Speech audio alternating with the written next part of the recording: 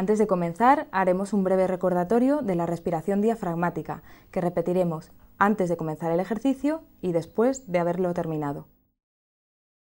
Mantenga ambas manos sobre el abdomen e inspire de manera lenta y pausada por la nariz, teniendo la sensación de llevar el aire hasta el estómago. Notará cómo se eleva la región donde tiene apoyadas las manos y después mantenga el aire unos segundos. Tras esto, déjelo salir por la boca ligeramente entreabierta y de manera gradual.